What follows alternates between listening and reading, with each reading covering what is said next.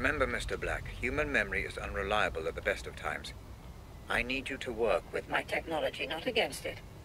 Take in your surroundings and get as much information as you can. Okay, ich versuch's. Hier. Ich glaube, dieses grün, die grünen Lampen, die mobben mich manchmal. Jetzt sind sie nämlich gerade, jetzt, hier ist wieder eine. Wenn ich hier lang gehe, ist wieder keine. Vielleicht ist hier hinter der Wand und da kommen wir nachher irgendwie hin in diesen Raum oder so. Ich brauche mal die Map. Okay. Genau. Jetzt sind wir in dem Raum. Okay, die Tür geht nicht auf.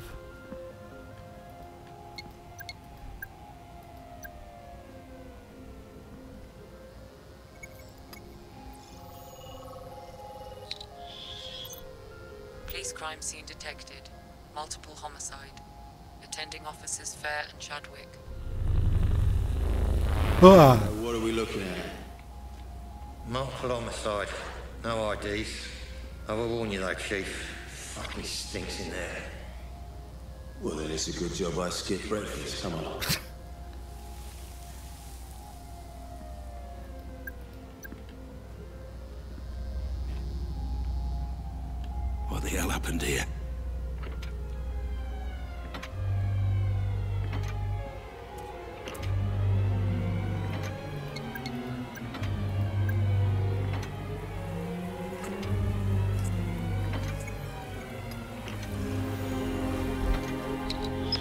Was? Ich fotografiere die weg. Die verschwinden einfach, wenn ich die fotografiere. Identification unconfirmed. Oh, look at that. His entire face. There goes any dental match. Shot off his hands too. His fingerprints are a bust. Professional job. Shit, this many stiffs and no ID. We could link this to a hundred cases. So, uh, drug deal it is then. What do you reckon? Adam's family or one of my Turner's lot? Uh, well, don't worry. Decide later. Get the uniforms to bag it all. I'm getting a little peckish. There's that new calf opened up next to the Nick. You fancy it?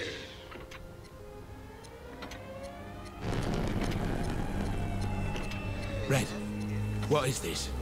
You are trying to process too much, Mr. Black. The Pandora cannot keep up. Concentrate only on the man you Came came here to find. There, Mr. Black, right there. Use your scanner. Scanner. Identify and consolidate your memory. Who is that man? The Pandora will do the rest. Okay, wer, wer ist dieser Mann?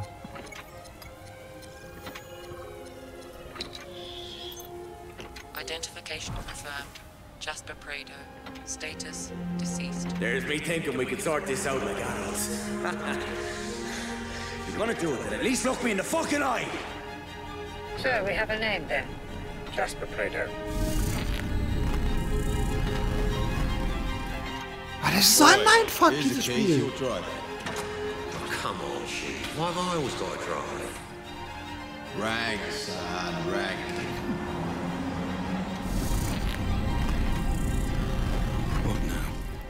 How do I know this? You don't. The Pandora is cross-referencing your memory with any police Files file. in the database. This memory is breaking down. You must move on. Okay, aber erstmal möchte ich noch was lesen. Die Resultate der Blutuntersuchung sind heute Morgen eingetroffen. Die DNA stimmt mit der DNA am Ort der Detonation überein.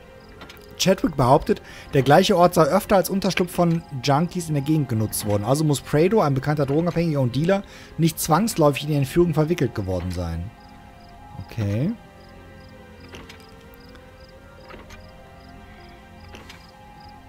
Hat er hier kein Zettelchen, die Nummer? Nee, okay. Erschossener identifiziert. Leiche eines Erschossenen in Lagerhalle nahe der Route 10 gefunden. Polizei hat nun herausgefunden, wer es ist, von Brian Scott. Letzte Woche haben wir über den schockierenden Fund einer Leiche in einem verlassenen Lagerhaus an der Route 10 berichtet. Der Leichnam eines 40-jährigen Mannes wurde auf dem Boden der Haupthalle des Lagerhauses entdeckt. Der Mann war offensichtlich gnadenlos aus nächster Nähe erschossen worden. Laut einer Quelle wurde dem Opfer dabei das halbe Gesicht entstellt, sodass seine Identifizierung nicht möglich war. Die Polizei hat nun herausgefunden, dass der Name des Mannes Jasper Prado lautet, ein stadtbekannter Söldner und Ex-Militär ohne festen Wohnsitz.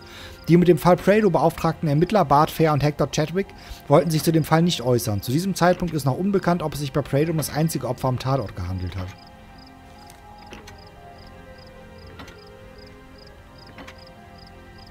Ergebnis der ballistischen Analyse. Die Untersuchung der beiden Tatorte Bromsgrove-Entführung, Fall Jasper Prado und die aufgefundenen und analysierten Beweisstücke im Zusammenhang mit den Waffen und Munition während der beiden polizeilichen Untersuchungen lässt den Schluss zu, dass die Schützen von der Firma Advanced Defense Strategy hergestellte Waffen verwendet haben. Okay.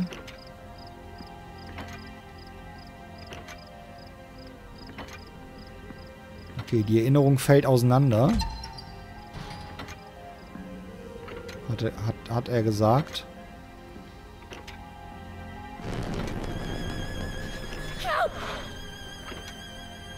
Grace. Hängt Grace irgendwie mit uns zusammen? This place again. Yes. Your mind is definitely throwing up some kind of link between this Jasper Prado Prado. and the explosion. I'm surprised it's this pronounced, though. As if something is. Bothering you. Too late. Ich habe jetzt... Äh, äh. Ich weiß nicht, ob ich da reingehen soll oder hier hochgehen soll. Ich gehe jetzt erstmal hier rein. Ich hoffe, da geht die Tür nicht zu. Ah, okay. Da kann ich dann wieder woanders hin, ja? It's your fault. Was steht auf der anderen Seite? Jaspers Vergangenheit und Verbindung. Nach seiner Armeezeit 94 bis 96 arbeitete er als Söldner, bis er entlassen wurde und anfing sich als Drogendealer zu verdingen. Aktuell verdient er sein Geld mit Gras, Hasch und Ecstasy-Geschäften, aber er hält auch noch Kontakt zu seinen alten Freunden. Die ganzen Sachen interessieren uns nicht. Da wäre jetzt ein Foto, wo wir irgendwie eine andere Erinnerung könnten oder aus dieser Erinnerung wieder raus. Deshalb gehe ich kurz gucken, ob ich hier irgendwo hin kann. Wieder ein Code, den wir nicht haben. Ich probiere es mal mit der alten, dem alten Schwarzlichttrick. Da ist wieder der Hase. Der Hund.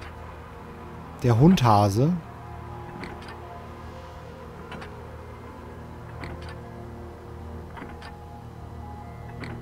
Hier haben wir irgendwelche... Hier haben wir Blutflecken. Das haben wir, stimmt, das haben wir hier noch gar nicht gemacht. Einmal mit, mit UV-Licht mal hier... Der ist schon blutend hier hingekommen? Okay. Also ich glaube nicht, dass die jetzt... Äh Hallo Yoshi! Ja, so ein bisschen. Ein bisschen Horror-Genre-Mix, Shooter, Schleichspiel, Jump and Run, Ben und Ed. ist alles so, ein, äh, alles so ein bisschen, dieses Spiel. Wie kann ich jetzt diesen Code da rausfinden?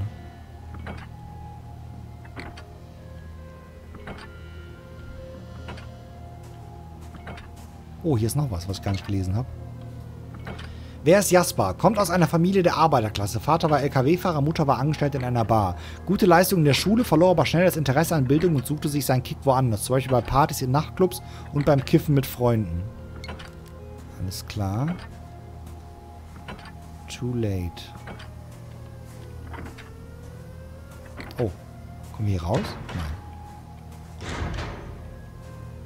Okay, irgendwie müssten wir jetzt eigentlich theoretisch dieses blutend von dem Stuhl hier hin und hat das da hinge hingemalt.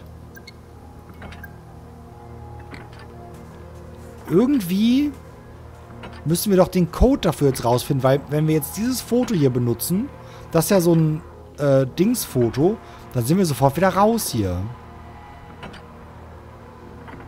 Aber ich habe keine Ahnung. So sehe ich da auch nichts.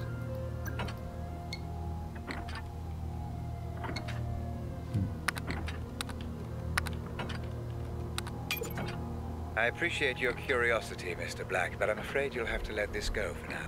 Ah, okay. Es geht scheinbar gar nicht. Oder er will halt nur nicht, dass wir das machen. Okay. Dann müssen wir wohl diese andere Erinnerung mal triggern.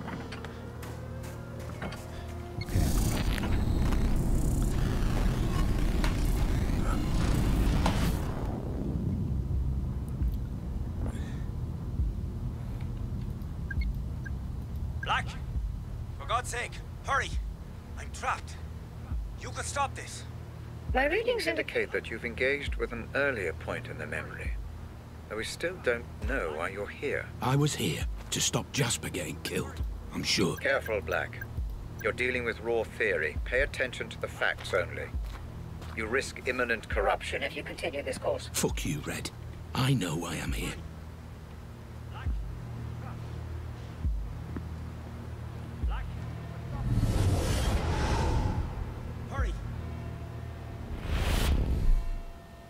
What? Oh. What's your problem?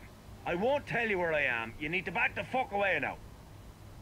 This is out of your hands, and there's nothing you can do about it. So leave me the fuck alone and just let this run its course. Patrick Bateman, I'm not a psychopath.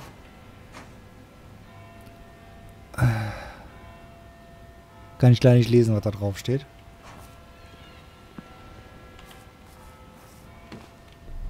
Guck mal, wir können es auch wieder...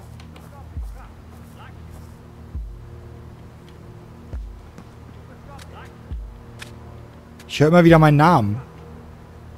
Das macht mich verrückt. Ja! Okay, ich gehe ja schon hier lang. Ist ja gut. Uah.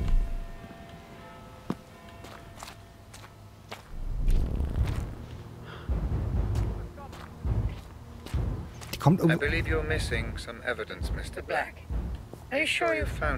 Nee, ich habe überhaupt noch gar nichts gefunden. Okay, wir müssen uns also erst noch ein bisschen umschauen hier scheinbar.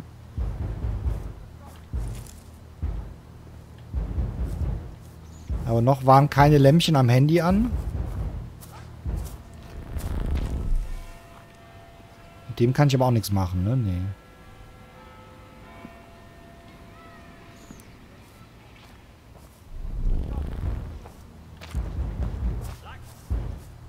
Der klopft irgendwo an die Tür und ruft die ganze Zeit Black. Jetzt, jetzt verstehe ich das. Ist das ein Zettel zum Lesen? Nee.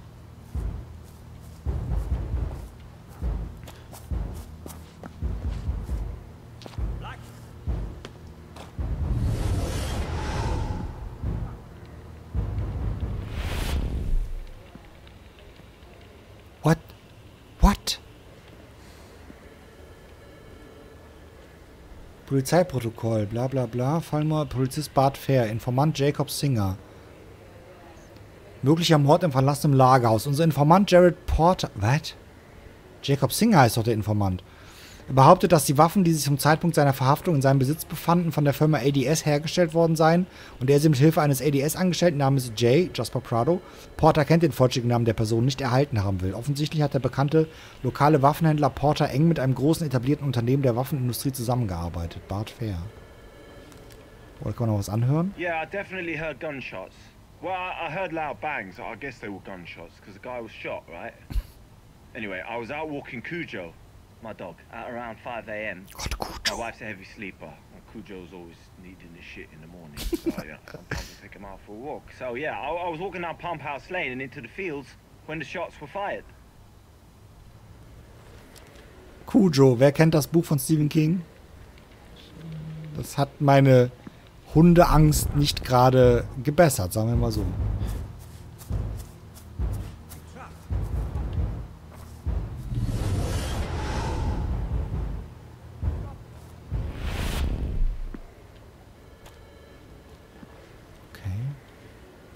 Polizeiversäumnis Falldetails.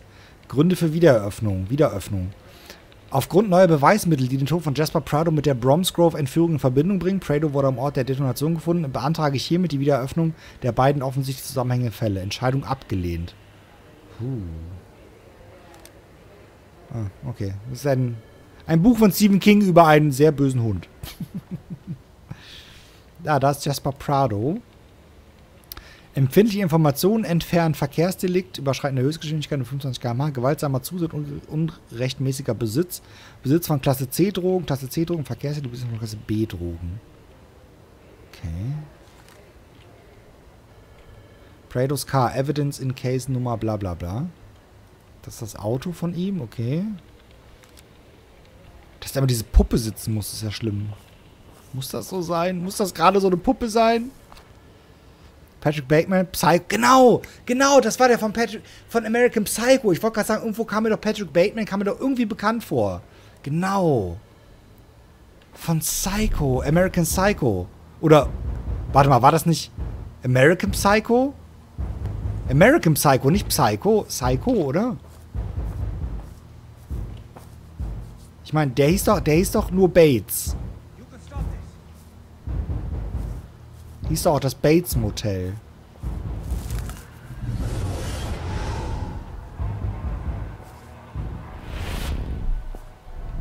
Hä? Also, bin zu weit weggegangen. Police Department, Homicide Case File. Fall geschlossen, Fall geschlossen. Okay. Case closed. Detective Bart Fair wird vermisst. Nachdem er vier Tage in Folge nicht bei der Arbeit erschienen war und auch seine Frau Jenny Fair ihn nicht erreichen konnte, wurde der 45-jährige Detective Bart Fair jetzt offiziell als vermisst gemeldet. Der Chronicle konnte mit Fairs Kollegen Hector Chadwick sprechen, der unbezahlten Urlaub genommen hat, um seinen Freund zu suchen. Bart ist ein großartiger Polizist, aber er hat sich, aber hat sich immer zu viel zu sehr in die Arbeit reingesteigert. Ein Mann sollte nicht für die Arbeit allein leben, schon gar nicht, wenn er eine Familie hat. Ich werde ihn finden, das kommt alles wieder in Ordnung. Detective Fair hielt 2009 die Tapferkeitsauszeichnung der Polizei von Severn, Severn, nachdem er an der Station Moore Street in Birmingham einen geistesgestört mit einem Messer bewaffneten Angreifer mit einem Rugby-Tackling ausgeschaltet hat. Entschuldigung, ausgeschaltet hatte. Einen herzlichen Glühstrumpf.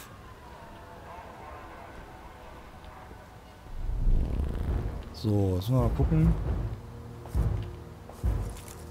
Wir hören immer noch das ominöse Klopfen. Ob wir irgendwo noch andere Erinnerungsdinge haben. Ich glaube, wir sind jetzt alles ziemlich abgelaufen hier. Jetzt kommt gleich hier der Polizist nochmal. So, wir gucken nochmal hier an der Seite, ob hier irgendwas ist. Bevor wir da jetzt gleich reingehen.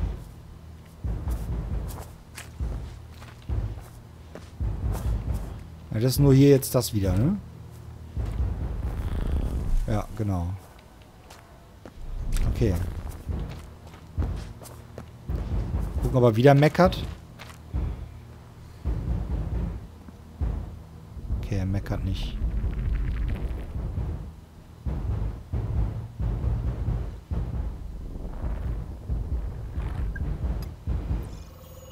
Und ich dachte, das wäre jetzt ein Hinweis, dass das so eine falsche, falsche Erinnerung ist. Oh, das, Black, I've been reviewing the data. Though you've been thorough in gathering evidence, your pursuit of supposition has sadly rendered this investigation useless. I'm pulling you out. No, Red. What, what, not what, what? yet. I'm so close.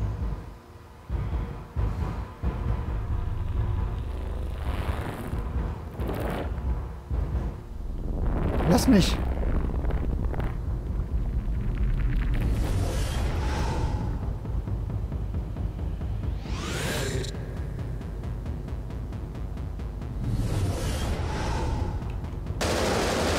Ugh. Wird zu langsam reagiert. Enough of this nonsense. You pulled me out. Like I said, you began making assumptions. The Pandora is neutral. Neutral, Black, and so must you be. Maybe you really were there to save Jasper. But the moment you assume that To be true, you corrupt the simulation. simulation and cast doubt over the memory. If you continue to do so, we will not be able to proceed. Maybe I don't want to proceed. Oh, I think you do, Mr. Black. You wouldn't be here if you didn't want answers.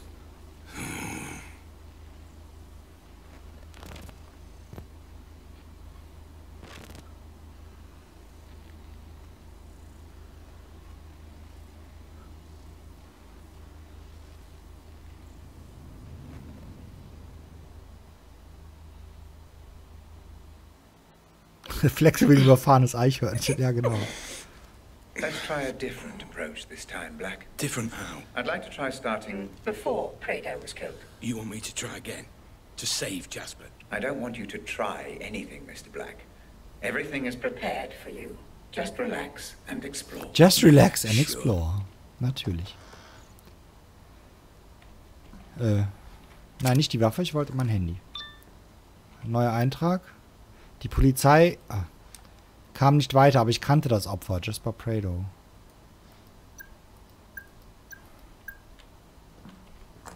Relax and explore. Ach, das ist, das ist der, das ist der Dingsraum, ne? Da können wir nochmal eben reingehen. Der, der Beweiseraum. Da können wir uns dann nochmal kurz umschauen, welche Tafeln jetzt noch an sind. Welche Tafeln jetzt noch angehen. Excellent, Mr. Black. You're using all the tools I have provided. I appreciate the effort. I believe this 96. investigation may be swift. 96. Verdammt, wir haben wieder eine Sache, ein Foto oder so nicht gefunden. Verdammt. Ah, das ärgert mich. Das ärgert mich. Mann, ich würde mal gern ein Kapitel oder wie auch immer man diese Dinger nennt, zu 100% abschließen. Mann, das ist doof. Das ist sehr doof. Äh. Wo ist denn mein Handy? Warum nimmt er denn das Handy immer weg? Okay, relax and explore.